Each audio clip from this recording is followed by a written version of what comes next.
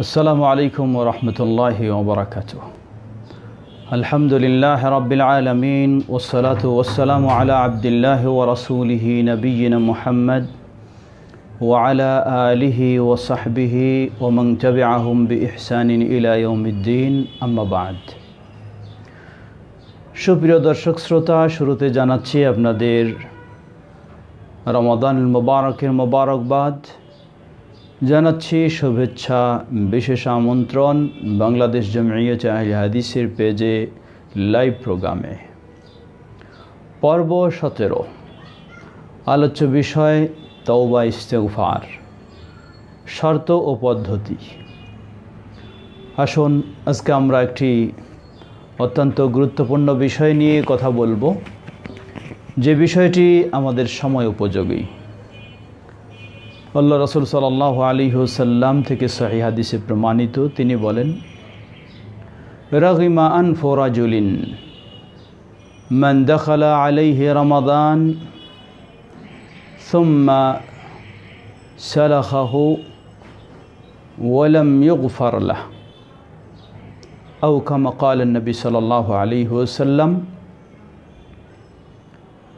নবী সাল্লাহ আলী ওসাল্লাম তিরস্কার জানিয়ে ধিক্কার জানিয়ে সতর্ক করে বলেছেন,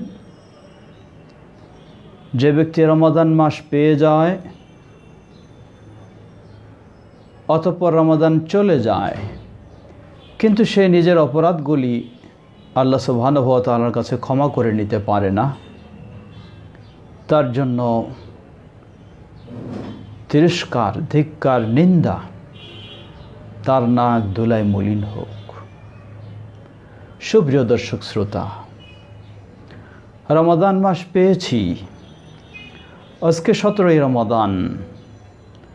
একটি ঐতিহাসিক দিবসও বটে। সেই বদর যুদ্ধ সংগঠিত হয়েছিল এই সতেরোই রমাদানে। যে দিনটি মুসলিম উম্মাকে বিজয়ের কথা স্মরণ করে দেয়, যে দিনটি মুসলিম উম্মার জন্য চেতনাকে নবায়ন করে নেওয়ার একটি দিন। কিন্তু বড় আফসোসের সাথে বলতে হয়, আজকে আমরা এমন পর্যায়ে পৌঁছে গেছি। অপরাধ করতে করতে যেন ইমানি চেতনা নিশ্চিত হয়ে, নিস্তেজ হয়ে গেছে, দুর্বল হয়ে গেছে। হারিয়ে যাওয়ার পথে সুপ্রিয় দর্শক শ্রোতা, এই ইমানি চেতনাকে সতেজ করার, পুনরুদ্ধার করার যেগুলি পথ রয়েছে, সহজ পথ, তার মাঝে একটি অন্যতম হল তৌবা ইস্তেফার তৌবা ইস্তেফার শুধু অপরাধী মানুষেরাই করবে, এমনটি ভাবা কখনো উচিত নয়। গোনাগার মানুষই করবে এমনটি ধারণা রাখা কখনোই ঠিক নয়। আমরা অনেক সময় মনে করি তৌবা করা ইস্তেকভার করা, এর মানে আমি খুব বড় অপরাধী হয়েছি। না, এই ধারণা সঠিক নয়।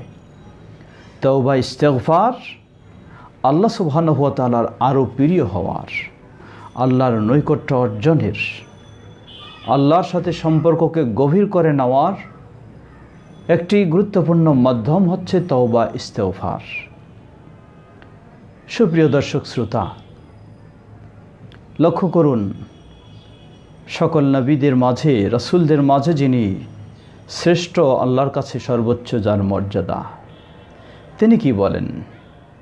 তিনি বলেন, ইয়া আইয়ুহান্নাস তৌবু ইলাল্লাহি ওয়াস্তাগফিরুহ ফাইন্নি আতুবু ফিল ইয়াউমি মিআতা মাররা।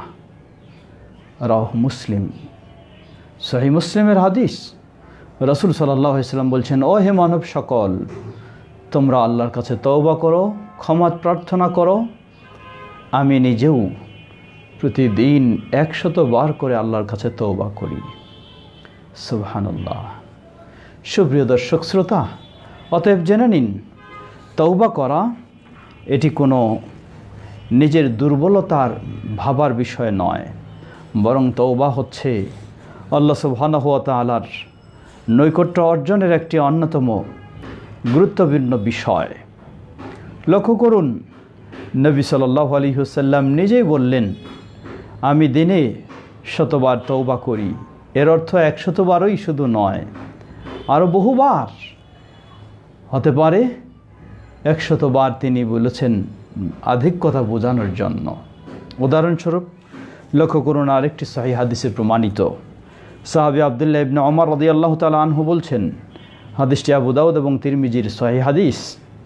তিনি বলছেন যে, রসুল সাল্লাহ আলী হোসাল্লামের বৈঠকগুলি আমরা খেয়াল করতাম। এক এক বৈঠকেই আমরা হিসাব করতাম, যেন শতবার তিনি বলতেন আস্তফুরুল্লাহ শতবার তিনি বলতেন রব্বে ফিরলি ওতুবা আলাইয়া, ইন্নাকা আংতাত্তাওয়াবুর রাহিম। এক বৈঠকে যদি রসুল সাল্লাহ আলী হুসাল্লাম শতবার বলতেন, রব্বে ফিরলি ওতুবা আলাই হে আল্লাহ, আমাকে ক্ষমা করো, আমার তৌবা কবুল করো। ইন্নাকা আংতাত্তাওয়াবুর রহিম তুমি তৌবা কবুলকারী, তুমি দয়াশীল। আল্লাহ আকবার। নবী সাল্লাহ আলী হুসাল্লামের এক বৈঠকে যদি শতবার হতো, তাহলে দিনে কত বৈঠক হয় এবং কত শতবার হয় বলার অপেক্ষা রাখে না। সুপ্রিয় দর্শক শ্রোতা, সুতরাং আল্লাহর কাছে বেশি বেশি তাওবা করা, এটি অপরাধী হওয়ার পরিচয় নয়। বেশি বেশি তাওবা করা আল্লাহ সুবহান হুয়া তালার প্রিয় হওয়ার এই পরিচয় আল্লাহর প্রিয় ব্যক্তিগণেই এভাবে বেশি বেশি তওবা করেছেন। বাস্তবেই তৌবা আল্লাহর কাছে কতই না প্রিয়, লক্ষ্য করুন। সহিহুল বুখারির হাদিসে এসেছে সাহাবি আনাস রদি আল্লাহ তালা আনহু বলেন, রসুল সাল্লাহ আলী হুসাল্লাম বলেন, লিল্লাহি আসাদ্দু ফারহা বেতৌবাতি আবদিহি ইলাইহি। আল্লাহ আকবর। লিল্লাহি আসাদ্দু ফারহা বেতৌবাতি আবদি। বান্দা যখন আল্লাহর কাছে তৌবা করে, আল্লাহ রাবুল আলমিন এত খুশি হন সুহান আল্লাহ যেই খুশি বহু গুণে বেশি ওই ব্যক্তির চেয়ে কোনো ব্যক্তি যদি দুর্গম পথে সফর করে, সাথে তার পাথেও ছিল, খাদ্য, পানীয় সব কিছু ছিল, বাহন ছিল, সেই পৌঁছার পর হঠাৎ বাহনকে সে হারিয়ে ফেলে। বাহন শুধু এমনি হারায়নি যত পাথেও ছিল, খাওয়া দাওয়া সব কিছু নিয়ে বহন হারিয়ে গেছে। সেই ব্যক্তি এমন অসহায় যা বলার কোনো উপায় নেই। এই কঠিন পরিস্থিতিতে সেই ব্যক্তি গাছের ছায়ায় আশ্রয় নিল। দুশ্চিন্তায় ঘুম এসে গেছে। ঘুমিয়ে পড়েছে। হঠাৎ ঘুম থেকে জেগে দেখছে, তার পাশেই দাঁড়িয়ে রয়েছে তার বাহন, সকল মাল সামানা নিয়ে সোহানাল্লাহ দেখে এতই খুশি যা বলার ভাষা নেই। আল্লাহর প্রশংসা করতে গিয়ে বলে ফেলে, আন্তা আবদি ও আনা রব্বুকা। হে আল্লাহ, আপনি আমার বান্দা, আমি আপনার রব। এর অর্থ, এটি কুফরি বাক্য, কোনো সন্দেহ নেই। কেউ বললে এভাবে। কিন্তু এই ব্যক্তি এটি অন্তর থেকে বলেনি, এত খুশি হয়ে আল্লাহর কৃতজ্ঞতা প্রকাশ করছে, তার যেন ভাষাই পরিবর্তন হয়ে গেছে। আল্লাহ রসুল সাল্লাহ আলী হুসাল্লাম বললেন, ওই ব্যক্তি যত খুশি হয়, তার চেয়েও বহু বহু গুণে আল্লাহ সুবহানাহতালা খুশি হন। কোনো বান্দা যদি আল্লাহর কাছে তৌবা করে সুবহান আল্লাহ সুপ্রিয় দর্শক, শ্রোতা, কেন আল্লাহ সুবহানাহতালা খুশি হন? আল্লাহ রাব্বুল আলমিনের কাছে যখন মানুষ অনুতপ্ত হয়, ফিরে আসে তৌবা করে তাহলে তখন বিষয়টি বোঝেন যে বান্দা আমাকে রব হিসাবে স্বীকার করেছে, আমার কাছেই যে ফিরে আসতে হবে, আমার কাছেই যে ধর্ণা দিতে হবে, বান্দা এটি উপলব্ধি করেছে। সুবহান আল্লাহ এ কারণেই আল্লাহ সুবহান হুয়া তালা ওই বান্দার প্রতি এ ধরনের খুশি হন। সুপ্রিয় দর্শক, শ্রোতা, আসুন, এই তৌবা ইস্তেকফারের জন্য কোনো নির্দিষ্ট সময় নেই। জীবনের যে কোনো বছরের যে কোনো সময় আপনি করতে পারেন। তবে গুরুত্বপূর্ণ সময় হলো এই রমাদানের মুবারক। যে মাসটি হলো রহমতের, যে মাসটি হলো মগফেরাতের, যে মাসটি হলো আল্লাহর কাছে জাহান্নাম থেকে মুক্তির একটি অন্যতম সুযোগ। বিশেষ নৈকট্য অর্জনের একটি অত্যন্ত মূল্যবান মুহূর্ত। তাই এ মাসেই আল্লাহ সুবহানাহুয়া তাআলার কাছে বেশি বেশি তওবা করে, ইস্তেগফার করে নিজের অতীতের অপরাধগুলিকে আমরা ক্ষমা করে নিতে পারি। আসুন আমরা সেই চেষ্টাই করব। সুপ্রিয় দর্শক শ্রোতা, বহুজনই অপরাধ করেছি। অপরাধ করে আল্লাহর কাছে সেই অপরাধগুলিকে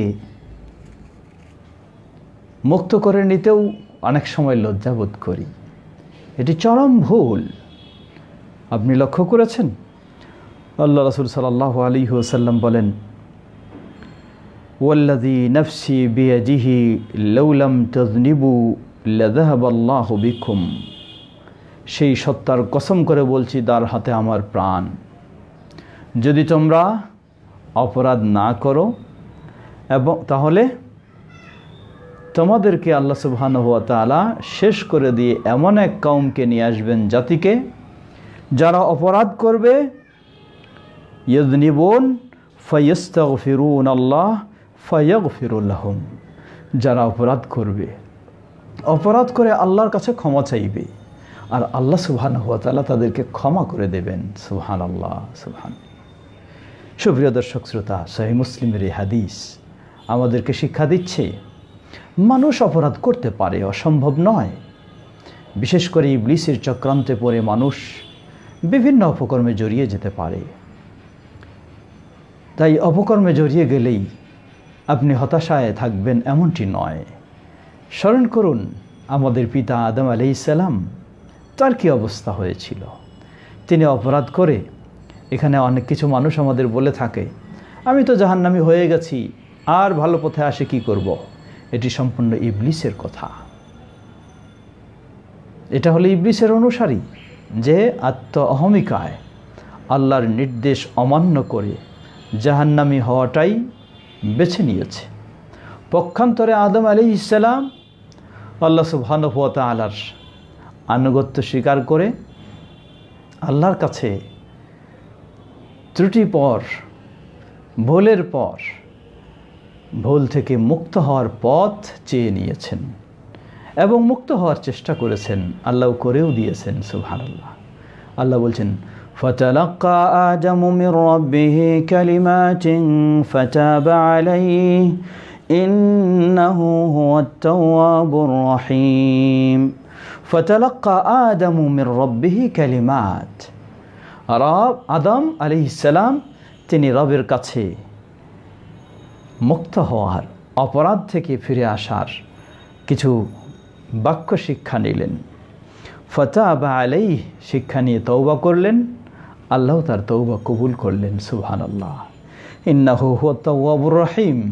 আল্লাহ সুবহান হুয়া তিনি তো হলেন তৌবাশীল তৌবা কবুলকারী। তিনি হলেন দয়াশীল। সুপ্রিয় দর্শক শ্রোতা, আসুন, আমাদেরকে যে যাই অপরাধ করি এখনও সুযোগ রয়েছে আপনি বেঁচে রয়েছেন। কারণ, সময় যদি অতীত হয়ে যায়, আপনার তৌবা করার ইচ্ছা হলেও তৌবা করতে পারবেন না। তৌবা করলেও সে তৌবা আল্লাহর কাছে কবুল হবে না। আল্লাহ রাবুল আলমিন সে বিষয়গুলিও কোরআনুল করিমে তুলে ধরেছেন। আল্লাহ সুবহান তালা যেমন সোরানিসা সতেরো এবং আঠারো নম্বর আয়াতে আল্লাহ রাবুল আলমিন বলেন إنما التوبة على الله إنما التوبة على الله للذين إنما التوبة على الله إنما التوبة على الله للذين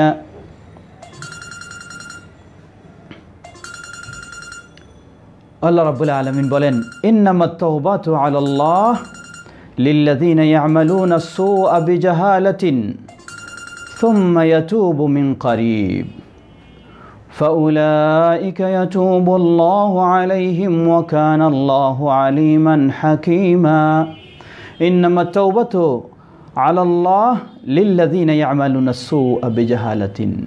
যারা অজ্ঞতাবশত না জেনে কোনো অন্যায় করে বসেছে, অতঃপর আল্লাহর কাছে তওবা করেছে। ইয়তুবুনা মিন করিব, বিলম্ব না করে খুব দ্রুত তওবা করবে। ফাউলা বল্লাহ আলাইহিম, এরাই হলো সেই ব্যক্তি আল্লাহ যাদের তওবা কবুল করে থাকেন, সুবহানাল্লাহ।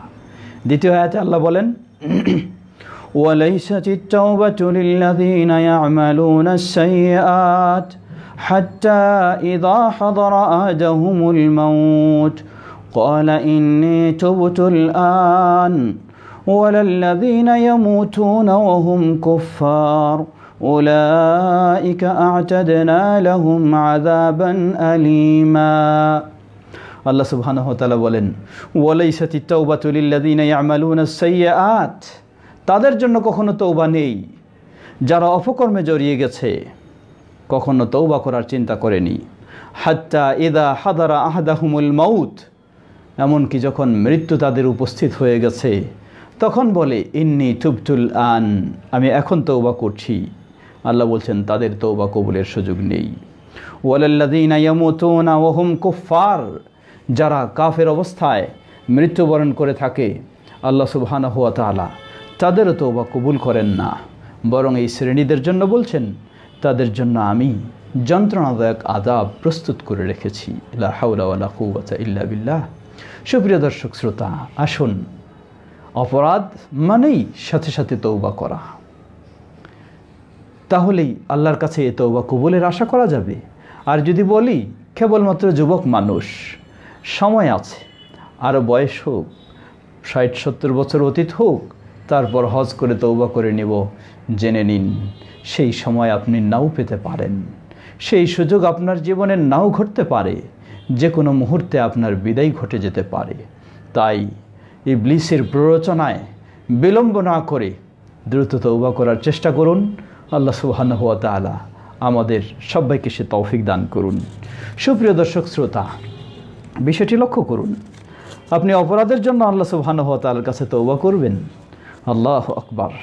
আল্লাহ রাবুল আলমিন বিষয়টাকে কীরকম করে দিয়েছেন? আপনি তৌবা করবেন নিজের অপরাধ মোচনের জন্য। আল্লাহ সুবহানু হতালা আপনার অপরাধ মোচনও করে দেবেন।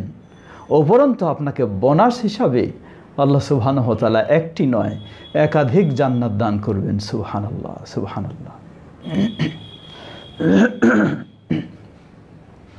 আল্লাহ সুবহান হতালা সোরা তাহরিম আট নম্বর আয়াতে বলেন يا أيها الذين آمنوا توبوا إلى الله توبوا إلى الله توبة نصوحا عسى ربكم أن يكفر عنكم سيئاتكم ويدخلكم جنات تجري من تحتها الأنهار ওহে যারা ইমান এনেছ তৌবু ইলাল্লাহি তাওবাতান নাসুহা।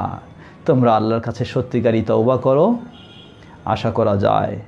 ইউকফের আংকুম আশা রব্বুকুম আই ইউকফের আংকুম সৈয়াতিকুম আশা করা যায় তোমাদের রব তোমাদের অপরাধসমূহকে ক্ষমা করে দেবেন। সুবহানাল্লাহ। ওয়ায়ুদখিলাকুম জান্নাতিন তাজরি মিন তাহতিহাল আনহার।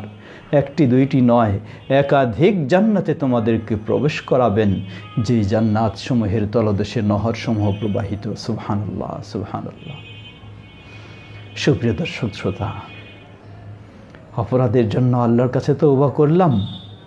আল্লাহ সুবহান হুয়া তালা হাদিসে এসেছে, যে মানুষ আল্লাহর দিকে এক বিঘাতে গিয়ে যায়, আল্লাহ তার দিকে এক হাতে গিয়ে আসেন। সুবহানাল্লাহ। যে মানুষ আল্লাহর দিকে পায়ে হেঁটে এগিয়ে আসে, আল্লাহ তার দিকে দৌড়ানোর মতো দ্রুত এগিয়ে আসেন, সুবহানাল্লাহ। আমি তৌবা করলাম আমার অপরাধ মোচনের জন্য। আল্লাহ আমার তৌবা কবুল করলেন, অপরাধ মোচন করে দিলেন এবং আমাকে জান্নাতেও প্রবেশ করালেন, সুবহানাল্লাহ। এর চেয়ে আর কি প্রতিদান পেতে পারি। সুপ্রিয় দর্শক, শ্রোতা, আসুন আমরা সত্যিকারীভাবে আল্লাহ সুবহানহ তাআলার কাছে তৌবা করার চেষ্টা করি। মনে রাখবেন, আল্লাহ সুবহানহ তাআলা তৌবা কবুল করবেন। এই প্রতিশ্রুতি আমাদেরকে দিয়েছেন, এই সুসংবাদ দিয়েছেন। কিন্তু তৌবা তৌবার মতো হতে হবে। প্রশ্ন আসতে পারে, যে কোথায় গিয়ে তৌবা করব। বিভিন্নজন ভাবেন তৌবা করার জন্য পীর সাহেবের দরবার খোঁজেন, পীর সাহেবের কাছে গিয়ে তৌবা করার চেষ্টা করেন, বা বিভিন্ন ইমাম সাহেব, বুজুর্গ তাদের কাছে গিয়ে তৌবা করার চেষ্টা করেন। সম্পূর্ণ ভুল পদ্ধতি। কখনো এই সিস্টেম ইসলামে নেই। তওবার জন্য কোনো বুজুর্গের কাছে যেতে হবে না। কোনো পীর সাহেবের কাছে নয়। কারও কাছে বকশিস নিয়ে যেতে হবে না। তৌবা আপনি আপনার ঘরে বসেই করবেন। দুনিয়ার যে কোনো জায়গায় যান। এমনকি বাইতুল্লাহ কি তৌবার জন্য আপনি যান। কিন্তু তৌবার যে মৌলিক শর্ত রয়েছে, সেগুলি যদি আপনি ফলো না করেন তাহলে তৌবা কবুলের আশা নেই। আর নিজের ঘরে বসেও যদি তৌবা করেন তৌবার শর্তগুলি যথাযথ বাস্তবায়ন করার চেষ্টা করেন, তাহলে আশা করা যাবে আল্লাহ সুবাহানুহতালা আপনার তৌবা কবুল করবেন ইনশাআল্লাহ। আমরা জেনে নেই তৌবা কবুলের শর্ত কি? তৌবা কবুলের শর্ত, যে অপরাধের জন্য তৌবা করতে চাই, সেই অপরাধটি সাধারণত দুই ধরনের হতে পারে। একটি হলো হাক্কল্লাহ, আল্লাহর অধিকারের বিষয়, আরেকটি হলো হাক্কুল ইবাদ, বান্দার অধিকারের বিষয়। আল্লাহর অধিকারের বিষয়ে যদি হয়ে থাকে, তাহলে সেক্ষেত্রে পাঁচটি শর্ত রয়েছে। প্রথম শর্ত হলো, তাওবা শব্দের অর্থই হলো ফিরে আসা। তাই প্রথম শর্ত হলো আল ইখলা আনিদ্দাম্বি যেই অপরাধ করেছেন, সেই অপরাধ থেকে সম্পূর্ণ বের হয়ে আসতে হবে। সুদ খেয়েছেন, সুদ খাওয়া টোটাল অফ করতে হবে। ঘুষ নিয়েছেন, ঘুষ নেওয়া বন্ধ করতে হবে। ধূমপান করেছেন, ধূমপান ছেড়ে দিতে হবে। বেনামাজি ছিলেন, সেই অভ্যাস বর্জন করতে হবে। বেপর্দায় ছিলেন, সম্পূর্ণ সেই কালচার চেঞ্জ করে ফেলতে হবে। মিথ্যা বলেছেন দুই নাম্বারই করেছেন, দুর্নীতি করেছেন, সব বর্জন করে ফিরে আসতে হবে প্রথম শর্ত। দ্বিতীয় শর্ত, আন্নাদামা। আল্লাহ সুবহানুয়া তালার কাছে অনুতপ্ত হতে হবে। আল্লাহ যে কাজটিকে হারাম করেছিলেন, আপনি সে কাজ করে ফেলেছেন। তাই আল্লাহর কাছে অনুতপ্ত হবেন। আল্লাহর কাছে অনুশোচনা করবেন, কাঁদবেন। তৃতীয় শর্ত এই প্রতিজ্ঞা গ্রহণ করতে হবে। ভবিষ্যতে আর এই কাজে আপনি আবার স্বেচ্ছায় কখনো লিপ্ত হবেন না। কখনো যদি ইবলিসের ফক্করে পড়ে প্ররোচনা আবার জড়িয়ে যান, সেটি আলাদা বিষয়। কিন্তু আপনার ভিতরে এই প্রতিজ্ঞা থাকতে হবে, যেই অপরাধ থেকে বের হয়ে আসছি, এই অপরাধে আর আমি কখনো জড়িত হব না। চতুর্থ শর্ত, মনে রাখতে হবে আপনার এই তৌবা যেন হয়, আল্লাহ সুবাহানতালাকে খুশি করার জন্য। বেনামাজি ছিলাম, সমাজের মানুষেরা আমাকে খারাপ জানে, তাই নামাজি হয়ে গেলাম তৌবা করলাম। না তৌবা করতে হবে, আল্লাহ যেন আমাকে খারাপ না জানে। আল্লাহর সন্তুষ্টি অর্জনের জন্য কারও শোনানোর জন্য নয়, কাউকে দেখানোর জন্য নয়। পঞ্চম শর্ত তৌবা হতে হবে। সময়ের মধ্যে, একটু আগেই সুরানে সায়ের আয়ের থেকে আমরা বলেছি মুমূর্ষ অবস্থায় পৌঁছে গেলে তৌবা করলে কোনো কাজে আসবে না। ফেরাউন সেই সমুদ্রে যখন হাবুডুবু খাচ্ছিল, তখন বলছে আল আন এখন আমি তৌবা করছি? আল্লাহ বললেন আল আন ওকাদা আসাইতা মিন কাবল যখন সুস্থ ছিলা, ফিরেছিলা, দুনিয়ার অবাধ্যতায় জড়িয়েছিলা, নিজেই রব বলে দাবি করেছ, আর এখন তুমি তৌবা করছ? এই তৌবা কবুলের সুযোগ নেই। ওই মুমূর্ষ অবস্থা হওয়ার, তৈরি হওয়ার, সৃষ্টি হওয়ার আগেই আপনাকে তৌবা করতে হবে। এই শর্ত সাপেক্ষে যদি আপনি তৌবা করেন, আপনার ঘরে বসেই করবেন, কোথাও যাওয়ার প্রয়োজন নেই। আল্লাহ সুবহানুহুয়া তালা প্রতিশ্রুতি দিয়েছেন, তিনি তৌবা কবুল করবেন, আপনার অপরাধ ক্ষমা করে দেবেন এবং এর বিনিময়ে আপনাকে জান্নাতে প্রবেশ করাবেন সুবহান ষষ্ঠ শর্ত, যদি অপরাধ বান্দার অধিকারের ক্ষেত্রে হয়, জেনে নিন। তাহলে এই ষষ্ঠ শর্ত পূরণ না হওয়া পর্যন্ত সেই তৌবা কবুল হবে না।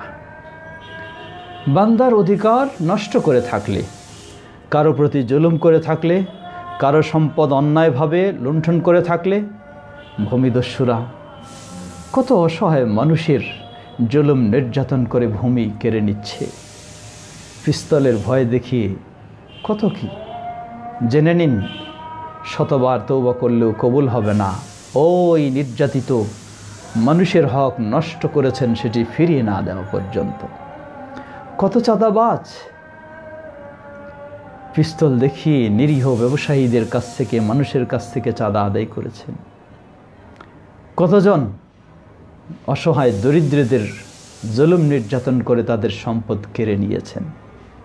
বিশেষ করে বিভিন্ন প্রেক্ষাপটকে কেন্দ্র করে এগুলি বেশি হয়ে থাকে। জেনে নিন অবশ্যই আপনাকে সেগুলি ফিরিয়ে দিতে হবে। অথবা তার কাছ থেকে ক্ষমা নিতে হবে সত্যিকারীভাবে না হলে আল্লাহর কাছে তওবার সুযোগ, কবুলের সুযোগ নেই। সুপ্রিয় দর্শক শ্রোতা, ভাববেন, কীভাবে আমি যাই, ক্ষমা নেই? বড় কঠিন বিষয়। আখেরাতের শাস্তি, আখেরাতের অপমান দুনিয়ার অপমানের চেয়ে কম নয়। সেই বড় লাঞ্ছনা, বড় শাস্তি থেকে বাঁচার জন্য দুনিয়ায় সেটি আপনাকে করার চেষ্টা নিতেই হবে।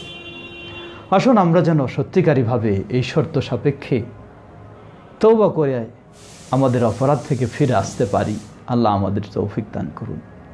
সুপ্রিয় দর্শক, শ্রোতা, সামনেই রমজান মোবারকের শেষ দশক। যে রাতগুলি কদরের রাত হিসাবে আপনি আবাদত করবেন। আরও একটি গুরুত্বপূর্ণ সুযোগ। রমদানেই হলো সুযোগ। তার চেয়ে আরও গভীর আরও সুন্দর সুযোগ হচ্ছে রমদানের শেষ অংশ, শেষ দশক। নবী সাল্লাহ আলী হোসাল্লাম এই শেষ দশকের জন্য কতই না প্রস্তুতি নিতেন। আসুন সেই প্রস্তুতি নিয়েই বিশেষভাবে আল্লাহর কাছে তৌবা করার চেষ্টা করুন। আল্লাহ আমাদের সবাইকে সে তৌফিক দান করুন। বিশেষ করে বর্তমান বিশ্বব্যাপী আমরা যে ভয়াবহ মহামারীর আক্রমণের শিকার হয়েছি, এই অপরাধ থেকে মুক্তির জন্য আল্লাহর কাছে তৌবার বিকল্প পথ নেই। আল্লাহ আমাদের সবাইকে সত্যিকারীভাবে তৌবা করার তৌফিক দান করুন।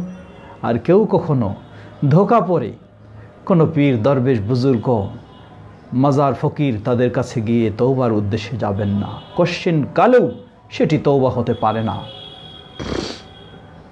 বরং ওই সমস্ত ক্ষেত্রগুলিতে দ্বারস্থ হওয়ার কারণে অনেক সময় আপনি শেরকে অথবা বেদাহাতে জড়িয়ে যাবেন, যার ফলে আল্লাহর তৌবা কোনো দিন পাওয়ার সুযোগ হবে না।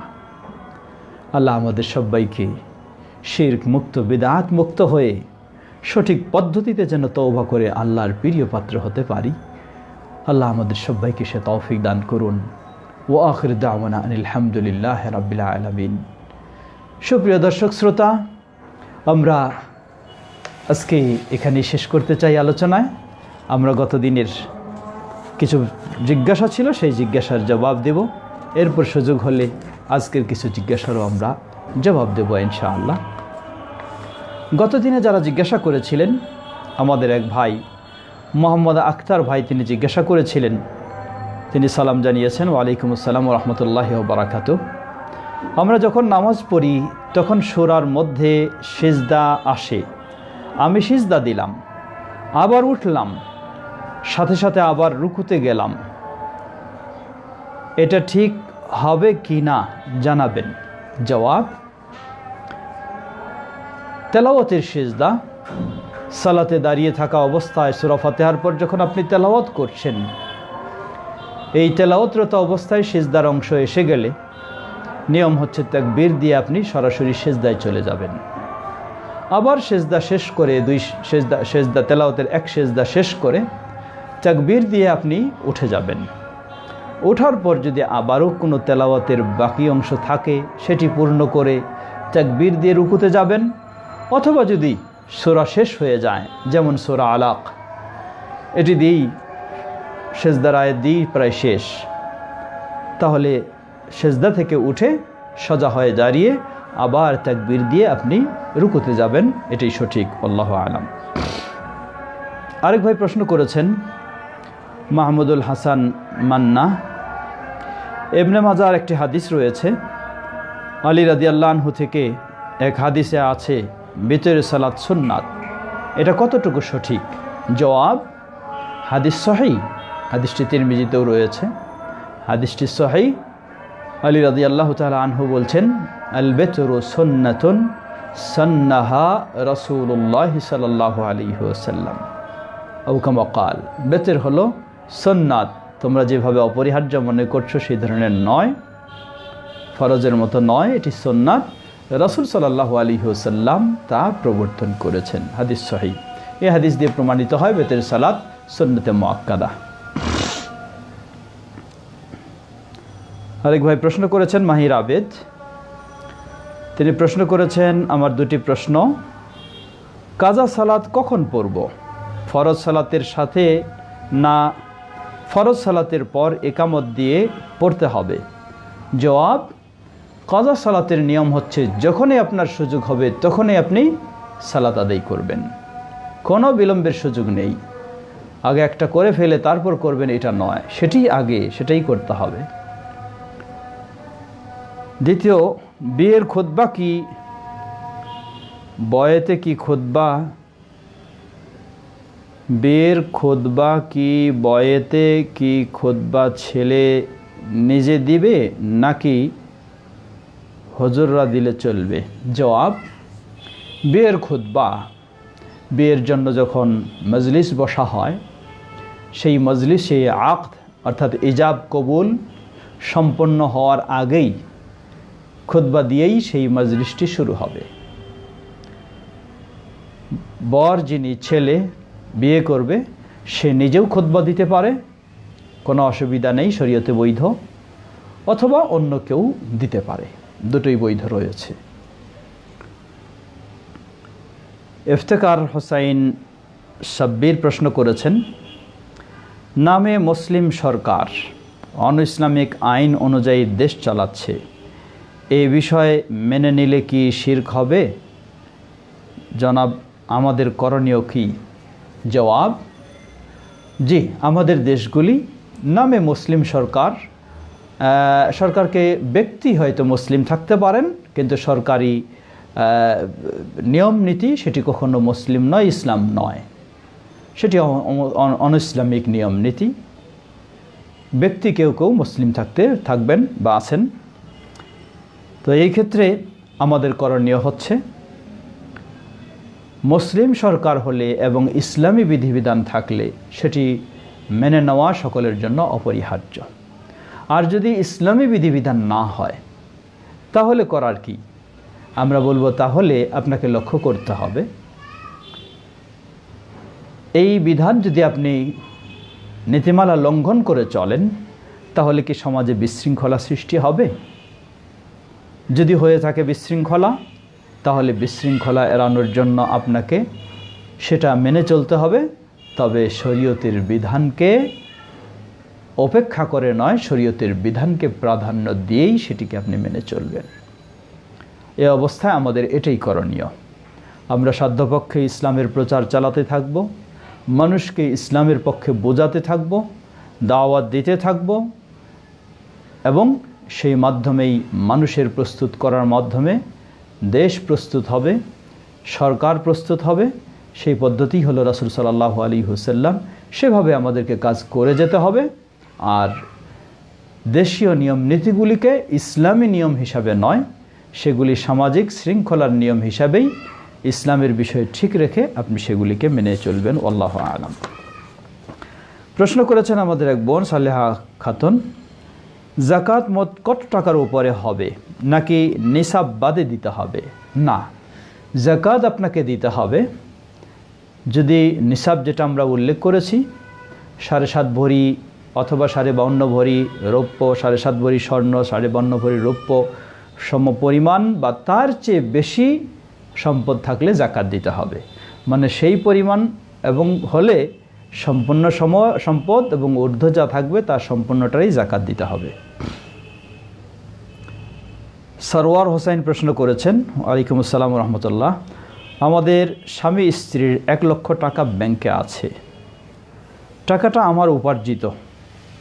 যার পঞ্চাশ হাজার আমার এবং ও পঞ্চাশ হাজার আমার স্ত্রীর নামে ভিন্ন দুটি অ্যাকাউন্টের রাখা। এখন এর জাকাত কি আদায় করতে হবে?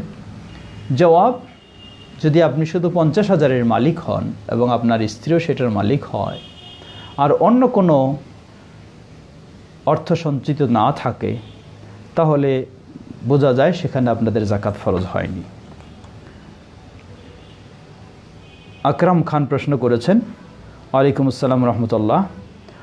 আমরা সব ধরনের খাবার টাকা দিয়ে ক্রয় করে খাই, এমত অবস্থায় টাকা দিয়ে ফিতরা আদায় করা যাবে কি না? জবাব আপনি ক্রয় করে খেতে পারেন, তাতে অসুবিধা নেই। কিন্তু মনে রাখতে হবে, ইসলামের যে বিধান যেভাবে এসেছে, সেভাবেই সাধ্যপক্ষে পালন করার চেষ্টা করতে হবে। যদি পালন করতে অপারগ হয়ে যান, তখন বিকল্প পথ। তাই খাদ্য দিয়ে ফেতরাতুল, সদকাতুল ফেতর আদায় করাই হলো সন্না মাহমুদুল হাসান মান্না আরেক প্রশ্ন করেছেন, মানুষ হয়ে কেউ কি আল্লাহর বন্ধু হতে পারে? কোরআন হাদিসে কি এমন কোনো কথা এসেছে? জবাব, মানুষ হয়ে আল্লাহর বন্ধু হতে পারে। আল্লাহ সুবহান হতালা বলেন, আল্লাহ আলিউল্লাদিনা আমানু। আল্লাহ বন্ধু কার? আল্লাদিনা আমানু, যারা ইমান এনেছে। যারা ইমান এনেছে, তাদের বন্ধু হচ্ছেন আল্লাহ সুবহান হতালা অমুসলিমদের নয়, মুসলিম মমিন যারা। এই জন্যই ওলি আল্লাহ আমাদের সমাজে একটা অলিয়া উলিয়া বলে পরিচিত রয়েছে। এটা আবার আরেক দিক বাড়াবাড়ি। আরেক দিক বাড়াবাড়ি কি? যারা শের বেদাতে হাবুডুবু খাচ্ছে, এরাই নাকি আল্লাহর বেশি বড় অলি। সম্পূর্ণ ভ্রান্ত কথা এটা। আল্লাহর অলি হলেন প্রতিটি মেন হচ্ছে আল্লাহর অলি, আল্লাহর বন্ধু। যে ব্যক্তি তার ইমানে যত নিখুঁত, নির্ভেজাল হবে তা কুয়াবান হবে, সে তত আল্লাহর প্রিয় বন্ধু হবে। আল্লাহ আমাদের সবাইকে আল্লাহর প্রিয় বন্ধু হওয়ার তৌফিক দান করুন। প্রশ্ন করেছেন, শাবাব হোসাইন, তিনি বলেছেন, নবী সাল্লাম নাকি আলী রাজি আল্লাহ আনহুর জন্য সূর্য দুবার, ডুবার পর আল্লাহর কাছে দোয়া করে আবার নাকি সূর্য উদিত করেছিলেন। এটি চ্যানেল আই এর একটি কাফেলা নামক অনুষ্ঠানে প্রচার করা হয়েছে। কথাটি কি সত্য? যতটুকু আমার জানা, এ হাদিস বাতিল হাদিস। এটা সহি নয়। নবী সাল্লাম আলী রাদি আল্লাহ আনহু আসর পড়তে পারেননি গমিয়েছিলেন এই জন্য সূর্যকে আল্লাহর কাছে আবেদন করে আবার উদয় করে নিলেন, তারপর আসর পড়লেন, তারপর অস্ত গেল। এ হাদিস শিয়াদের হাদিস এটি। এটি বাতিল হাদিস, সঠিক নয়। সালেহ আক্তার প্রশ্ন করেছেন, ওয়ালাইকুম আসসালাম রহমতুল্লাহ, ফিতরা কখন? কীভাবে দেব? জবাব, ফিতরা আপনি দেবেন অসহায় দরিদ্র মানুষদেরকে। তা হচ্ছে, উত্তম সময় হচ্ছে ঈদ উল ফিতরের চাঁদ দেখা থেকে শুরু করে ঈদের সালাতের জন্য বের হওয়ার পূর্ব পর্যন্ত। এটি হলো উত্তম সময়। যদি কেউ প্রয়োজনে আগে দিতে চায়, তাহলে রমদানের শেষ দুই দিন সময়ের মধ্যেও দেওয়া জায়েজ রয়েছে। আল্লাহ আলাম। গতকালকে সর্বশেষ প্রশ্ন এটাও সালেহা খাতুন করেছেন। আমার দুই ছেলে, কিন্তু আমার ছোট ছেলেটি অটিস্টিক বা পাগল। অনেকেই বলে, পূর্বপুরুষরা বা পিতামাতা পাপ করলে সন্তানের উপর ক্ষতি হয়। এটা সম্বন্ধে দয়া করে বলবেন, এর জন্য আমার করণীয় কি? আপনার লেখা দিকির দোয়া ও শরীয়ত সম্মত ঝাড়ফুক বইটি কি প্রকাশিত হয়েছে? জবাব, আমরা বলব কোনো সন্দেহ নেই, যা কিছু ঘটে, সব অবশ্যই আমরা তকদিরের আলোকে বিশ্বাস করি। তকদিরের আলোকেই হয়ে থাকে, এটাই আমাদের আকিদা বিশ্বাস। তবে পূর্বপুরুষেরা কেউ অপরাধ করলে সন্তান যদি এই ধরনের হয়ে থাকে, কিছু ফলাফল হিসাবে হতেও পারে, অসম্ভব নয়। ধরে নেন যদি হয়েও থাকে, তাহলে এখন আমাদের করণীয় কী? আমাদের করণীয়, কাউকে তো দোষারোপ করে লাভ নেই। আমাদের করণীয় হলো এখন, প্রথম হলো ধৈর্য ধারণ করা। ভাগ্যে এটাই ছিল, ঘটে গেছে, হয়েছে। তাই ভাগ্যের প্রতি ইমান রেখে ধৈর্য ধারণ করা প্রথম বিষয়। দ্বিতীয় বিষয়, ভাগ্যের প্রতি ইমান রেখে ধৈর্য ধারণ করা। দ্বিতীয় বিষয়, আল্লাহর কাছে তার সুস্থতা কামনা করা ও সাধ্যপক্ষে তার সুস্থতার জন্য চিকিৎসা নেওয়া। তৃতীয় বিষয়, আল্লাহ সুবাহানুয়া তালার সবই ইচ্ছা। তাই আল্লাহর কাছে অতি ধৈর্যের সাথে সেই ভালোভাবে ব্যবস্থা নেওয়া, কোনো অধৈর্য না হওয়া। আল্লাহ আপনাদেরকে ধৈর্য ধারণ করার তৌফিক দান করুন এবং সেই সন্তানকে আল্লাহ পরিপূর্ণ সুস্থতা দান করুন, সুস্থ করে দিন সেই দোয়া আমরাও করছি। আর যে বই, সে বইটি এখনও প্রকাশিত হয়নি, ইনশাআল্লাহ আশা করছি প্রকাশ হবে। আজকে আমরা সময় মোটামুটি আমাদের শেষের দিকে আল্লাহ আমাদের সবাইকে এতক্ষণ যাবৎ যে কথাগুলি আমরা শুনলাম, সেগুলি যেন ভালোভাবে উপকৃত হয়ে আমাদের জীবনকে সুন্দর করতে পারি। আল্লাহ আমাদের সবাইকে সে তৌফিক দান করুন। সুপ্রিয় দর্শক, শ্রোতা, পরিশেষে আবারও আপনাদের সবাইকে রমাদান মোবারকের মোবারকবাদ জানাচ্ছি। বিশেষ করে আজকে যে বিষয় নিয়ে আমরা কথা বললাম, সেটি যেন আমাদের জীবনে কাজে লাগাতে পারি। আল্লাহ আমাদের সবাইকে সে তৌফিক দান করুন। রমাদানে যেন আমরা এই সুযোগটি নিতে পারি। হতে পারে এই রমাদান আমাদের জীবনের শেষ রমাদান। আল্লাহ আমাদেরকে রমাদানে সফল হওয়ার তৌফিক দান করুন। সত্যিকারীভাবে তওবা করে আল্লাহ আপনার প্রিয় হওয়ার তৌফিক দান করুন। অতীতের অপরাধগুলিকে আমরা যেন ক্ষমা করে নিতে পারি, আল্লাহ আমাদের সেই সুযোগ করে দিন। এবং এই তওবার মাধ্যমে আমাদের ভয়াবহ বিপদ থেকে, মহামারী করোনা থেকে আল্লাহ আমাদেরকে রক্ষা করুন, দেশবাসীকে রক্ষা করুন। সকল মুসলিমদেরকে রক্ষা করুন। আল্লাহ আমাদের সবাইকে দিনের পথে চলার তৌফিক দান করুন। আমাদের সন্তানদেরকেও ইসলামের আলোকে আল্লাহ গড়ে তোলার তৌফিক দান করুন। আমাদের মাঝে উপস্থিত, অনুপস্থিত সকল অসুস্থদেরকে পরিপূর্ণ সুস্থতা দান করুন। যারা বিদায় নিয়ে চলে গেছেন, সে মুসলিমদের ভুল ত্রুটি ক্ষমা করে তাদেরকে জান্নাতুল ফেরদৌস নসিব করুন। ও আখরি দাওয়ান আলহামদুলিল্লাহ রাবিল আলমিন। সুবহান রব্বিকা রব্বিল ইজ্জাতি আম্মা ইয়াসিফুন ওসালামুন আলাল মুরসালিন। ওয়ালহামদুলিল্লাহ রব্বিল আলমিন। বাংলাদেশ জমিয়ত আহলিয়াদিসের পক্ষ থেকে আবারও সবাইকে কৃতজ্ঞতা জানাচ্ছি এ লাইভে সকলের অংশগ্রহণ করার জন্য। সেই সাথে স্মরণ করে দিচ্ছি, বাংলাদেশ জমিয়ত আহলে হাদিস একটি দিনী সংগঠন, একটি দাওয়াতি সংগঠন, যা আপনাদের সার্বিক সহযোগিতা নিয়েই এ দাওয়াতি কার্যক্রম পরিচালনা করে থাকে। অতএব এ রমাদান মুবারকে আপনাদের বিশেষ সার্বিক সহযোগিতা জমিয়ত আহলে হাদিসের জন্য আপনারা দেওয়ার চেষ্টা করবেন। আল্লাহ তৌফিক দান করুন আমিন ও আখির দামান আলহামদুলিল্লাহ রবিল আলমিন আসসালামু আলাইকুম ওরহমতুল্লাহি ওবরাকাতুহ